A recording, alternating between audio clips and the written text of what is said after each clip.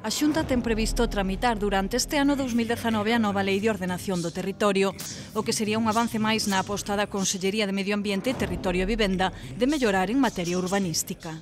Eu digo que vai ser posible e, e así o cerciora a directora xeral de urbanismo remitir ao Parlamento a que será a nova Lei de Ordenación do Territorio Deste xeito, modernizaremos a normativa neste campo e posibilitaremos algo fundamental que perseguimos dende a Xunta de Galicia, que é a simplificación e a seguridade xurídica.